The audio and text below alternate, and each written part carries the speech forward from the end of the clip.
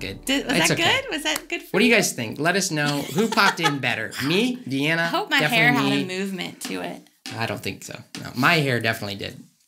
Well, I want to haven't share with everyone there that um, he smells like milk and Wheaties. Why do I smell like milk and Wheaties? Let's show you To why. the video. Yeah, that's why he smells like milk and Wheaties. it was worth it. It was a lot of fun. Hey, we're a church that likes to have fun. If y'all guys want to make some TikToks for us, go for it, man. We'd love to see what yes, you got. and if burning ring of fire is in your head, then we're sorry. You're welcome. and a We big got a couple. What are we here for? We got a couple quick announcements for you guys. Well, we won't drag this on too much. Yes, yes. First things first, Deanna. Yes, welcome. If you're brand Yes. new, glad you're here. We have a challenge for you. It's a three point challenge, basically, where you try us out three times. You pray, you listen to God, you Yeah. Mm. ask God, is this where you want me to land as my new church home? And uh, we'd love the opportunity to pray with you through that journey. Just let us know on that connection card, and we would love to do it. Yes, and prayer. Hey, man, prayer is huge for us. We truly, truly believe in the power of prayer. We have Yeah. people asking for prayer all the time because they know that we care about this thing and that Yes. we we really do think it's the most powerful thing we could do. So Right. put down your prayer request. We would love to be praying for you and, and put that down on the connection card. Put that down in the comments wherever you need. We're going to be praying for you. Absolutely. And we as a staff get to pray for you every single week. So we Yes. would love for you to put those prayer requests Yes, down. We got some exciting things coming up though. Big things coming up. We have a worship night coming up Woo-hoo. September on the 25th. 25th.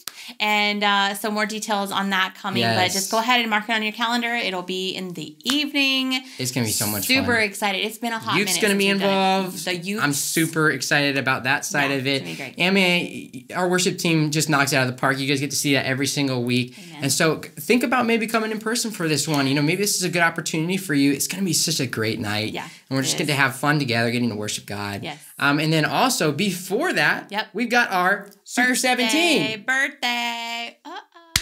It's your 17. birthday. We're almost an adult. Yes. Let's go. The Pointe's birthday on September 11th. We're going to be celebrating in house and online. We're going to have some really great things happening. So make sure you pop that on your calendar too. We got the we got the bounce houses. We Oh, got like some food. We, It's gonna be so We're gonna have fun. some cuppy cakes. You know, some Yes. sweets. Because what birthday is complete without cake? None. Exactly. Yeah. Exactly. So there's some pie sure people out. There's some pie people out there. Mm, If you're a pie person, let us know. it's okay. We love we love you. you still. We but love you You might be a still. little.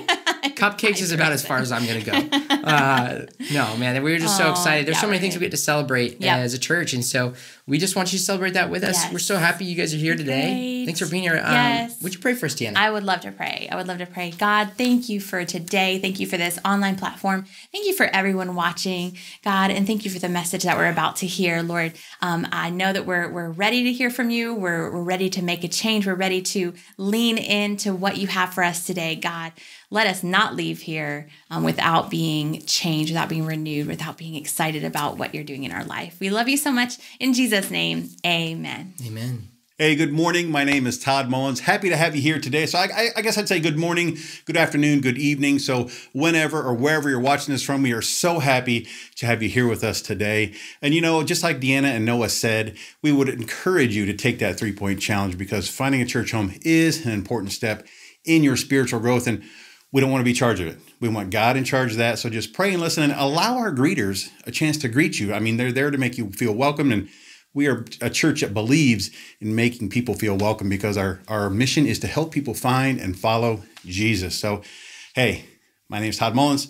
Been on staff here for quite a while and just a part of the teaching team. So it's just always fun to be here in front of the camera just to do this and just to share God's word on what we're doing. We are in a series called The Story of Jesus part two. Last year we did it through the book of John, and this year we're doing it through the book of Mark. We started early spring. We're going all through the summer and we'll finish in early fall. Uh, we are actually going to be in chapter 13 this week. We're going to, you know, we're doing it chapter by chapter. And, and it's just been so fun to get into what Mark's doing because he starts out, you know, in, in verse or in chapter one, he starts out with John the Baptist and he is going to go ahead and baptize Jesus. And then Jesus uh, goes ahead and finds his ragtag group of guys and he starts doing things. And a little recap he eats with some sinners, he heals a paralytic, uh, he does a parable of four soils, he multiplies miracles. Jesus elevates God's commands over tradition. We've got the fig tree that uh, Josh talked about a couple weeks ago. And then last week, it's really starting to elevate. You can feel the heat in what Mark's preaching because we know what happens at the end.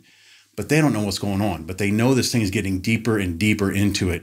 And and Jesus, they're in Jerusalem. He's teaching in the temples, and the Pharisees and the Sadducees, they don't get it. They just don't understand. You know, sometimes I'm a lot like that. I just don't get it. I just don't understand. Well, these guys didn't get it. They didn't understand. They were forcing Jesus' hand, and he's like, "Man, there's going to be some warning signs. You guys need to know these." That's what Caleb talked about last week, and this week we get into verse or in chapter 13 and it's it's amazing because this there's so much red letter. If you got a red letter bible and we're going to be reading out of this today normally i try to memorize verses and do those to not break eye contact but i, I want to really get into the word and, and share this. We're going to be an niv version uh, in, in the bible. So if you got your phones or you got your own bible get in there to chapter 13 because we're going to go through this and there's a lot of red letter. Jesus is speaking a lot in this chapter so it's so important to understand that as this is jesus actually speaking what's going to happen in 13 and it is just incredible. I've been studying this thing. I've been reading commentaries on it just getting into it because it is it is so amazing to see when jesus is speaking how we should hear those words and, we're going to go ahead and get into that right now so if you would open up uh, to verse thir- or chapter 13 and it starts off like this it says as he was leaving the temple that's jesus was leaving the temple with all his guys and he had just been in there and they went ahead and they were tempting him. They were challenging him. And he had left the temple after he dealt with those guys, the Pharisees and the Sadducees. It says, As he was leaving the temple, one of his disciples said to him, Look, teacher, what massive stones, what magnificent buildings. This is the temple that they're talking about. And what's so incredible here is that was the center of Jewish life, was the temple. They gave their offerings there, their sacrifices there. That meant everything to them. Is there, is there something in your life that means everything to you? Because that's what Jesus is going to address right here. This is such a Jewish chapter because this meant so much to them. And sometimes we get lost in that because we think, ah, it's just for the Jews. It's not. This is for everyone because we all have those things that we focus on instead of Jesus. And the Jewish life, the Jewish way was to focus on the temple. And Jesus was right there. And they missed it. They missed the whole thing. So here he is. So they said, What, look, teacher, what magnificent stones, what magnificent buildings. Do you see all these great buildings? replied Jesus. Do you see all these great buildings? Not one stone here will be left on another. Every one will be thrown down. Every single one. Jesus is saying, Look, everything you believe in is going to be gone. You know, the Jewish life, there was, it was either it was optimism or pessimism. They were optimistic because they knew in the end that they were the chosen people, that they thought they didn't have to do anything for it, that at the end, on the day that Jesus came back, the Lord came back, the day of the Lord, that they would get their place as the chosen ones. So they figured they didn't have to do anything. So it was optimism, like, hey, we're going to get this. In the end, we'll go through whatever troubles we have to. This is us. God's going to take care of us. But then there was pessimism because everything has to be just destroyed and recreated for it to be good.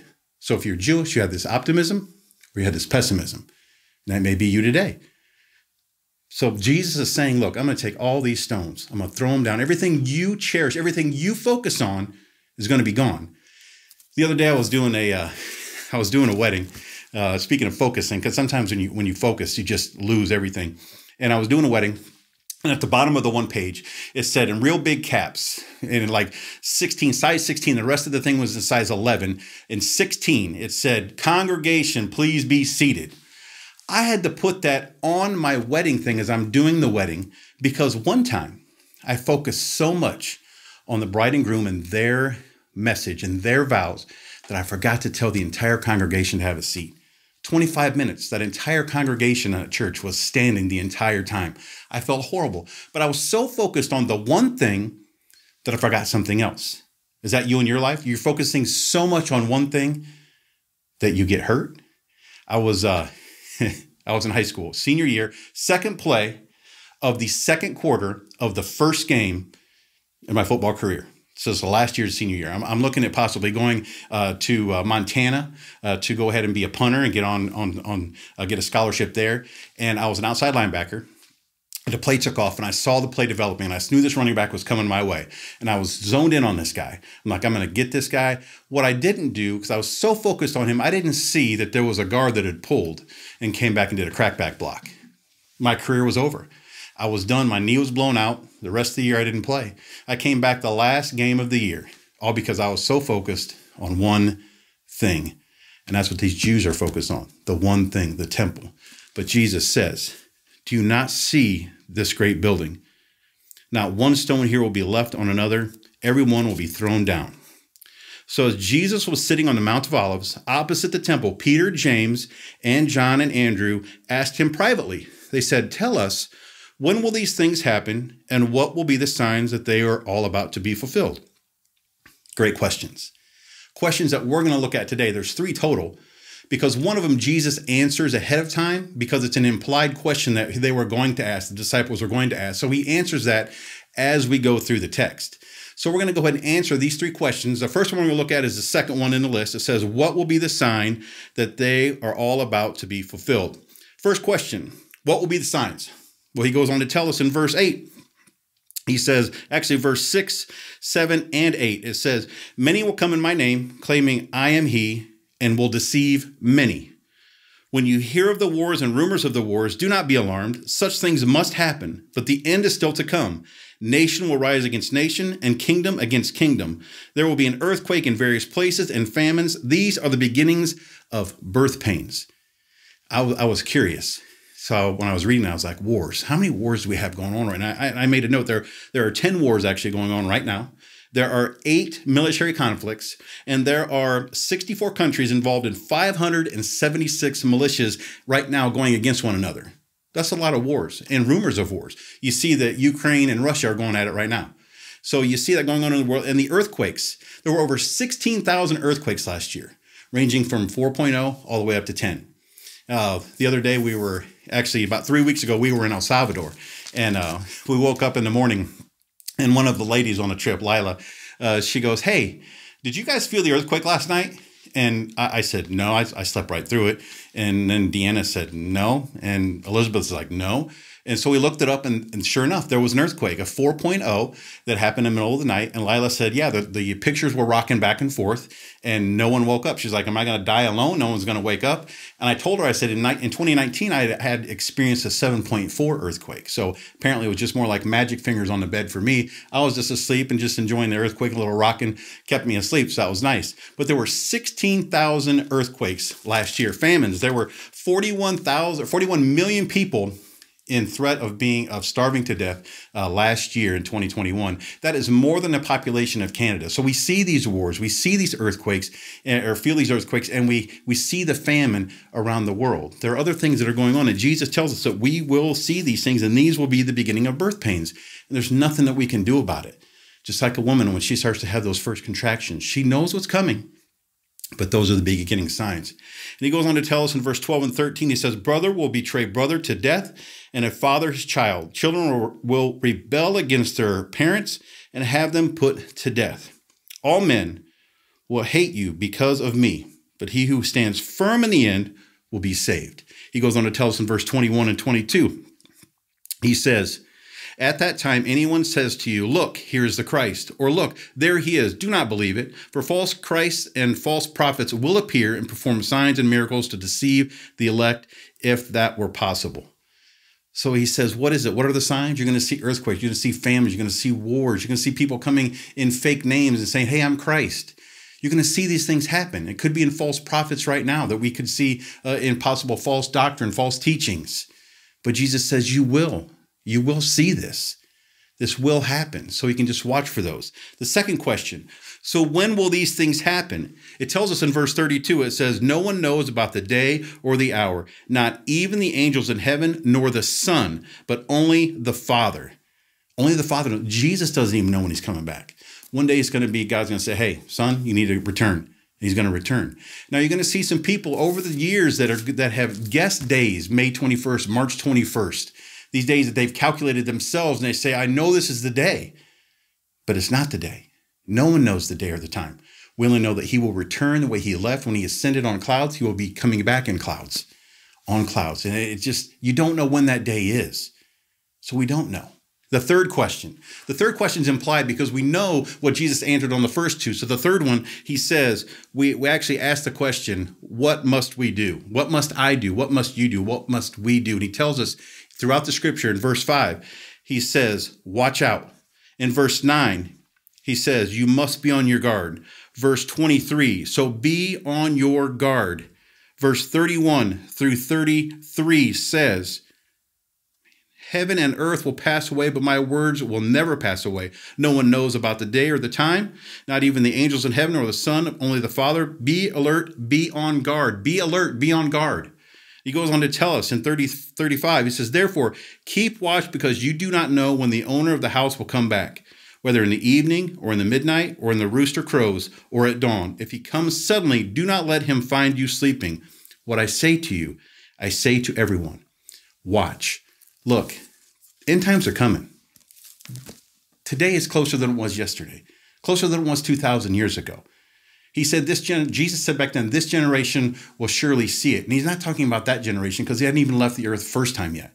He's talking about the generation when it comes back. That day is coming closer and closer every single day. You can know the signs, you can know what to do, but if you do not have a relationship with Jesus Christ, there is no way to make it out of this thing alive. The only thing you have is eternity with Jesus when you ask Him into your life. If you don't have that, you don't have that. You're going to be separated from God through eternity. And that's what we tell people when we go out evangelizing and we go to El Salvador. We talk to people. I talk to people. I actually spoke to somebody today at work. I was just like, man, do you know what this means? I mean, if you're you're totally separated from God, you know, Romans 6:23 says, For the wages of sin is death. And that death is not a physical death. It's not something that would happen right now. Because if that were the case, there'd be no one left. But what that is, it's a spiritual death, a complete separation from God for eternity. And that's not what you want. You're going to have so much heartache and, and hurt in that. But I encourage you to start a relationship with Jesus Christ. The day is coming, and we don't know when that day is. It could be now. It could be now. It could be now. You are to watch, you're to be alert, you're to be on guard. You will not know when Jesus comes back. So I, I implore, I ask you, I say, please start a relationship with Jesus Christ. It's so easy. You just invite him in say, Look, Lord, I know that I'm a sinner. I know that I've, that I've caused so much pain to you because God can't be around sin. And, and I know, Jesus, that you died on the cross for me.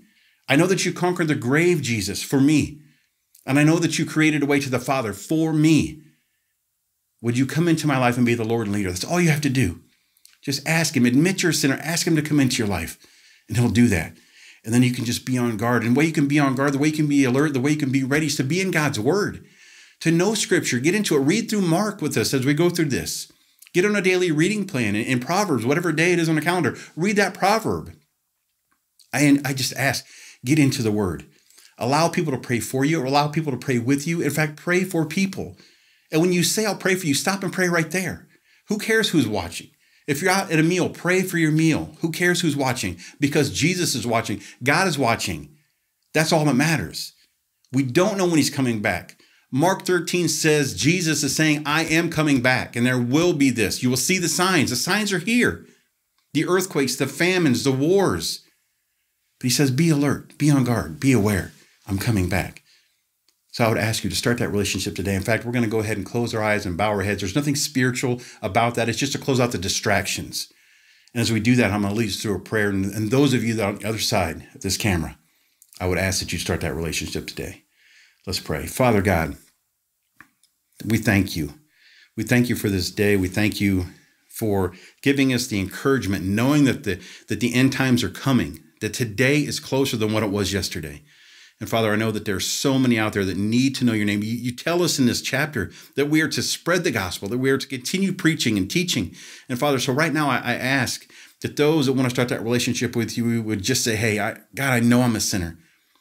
And, Jesus, I know you died on the cross. I know you conquered the grave for me. I know you created a way for me to get to the Father. And Jesus, I ask you now into my heart to be my Lord and leader in my life. And that's it. You, you just began a relationship and your eternity starts now, no matter what happens on this earth, no matter when it happens or how it happens, you will be with Jesus in eternity. You will be in heaven with the Father.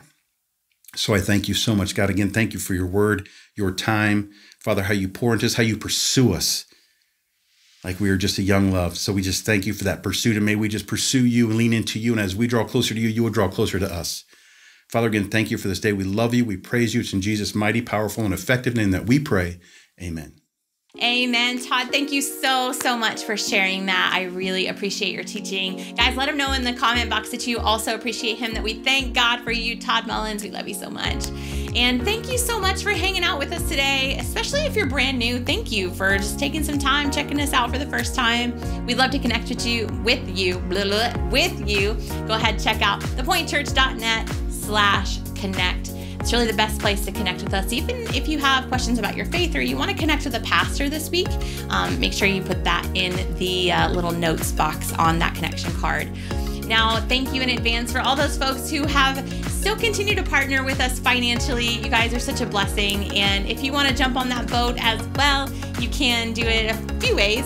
Thepointechurch.net slash give is a great place to go to give electronically, or you can always use the text to give option at the number below uh, or at one of our in-person services at 9 10 15 and 11 uh, giving is just on out the door. And again if you are new with us this part is really just uh, an opportunity for the folks who have decided to partner with us through giving to give back. But we don't expect anything from you at all new person. We're just really glad that you're here. In fact everything that we do on this online platform is for you, for you to enjoy, for you to feel encouraged. And uh, we're just really, really happy that you're here. You being here is a gift to us. And we would not ask you to dinner and expect you to pay the bill. So, um, also be sure to check out all of our platforms. We got the TikToks, we've got the the Instagrams, we've got all the Facebook things. All of our content is always uh, available on demand as well. So if you ever want to rewatch a sermon or share with a friend, you can do it on those platforms. I'll see you guys back here next time.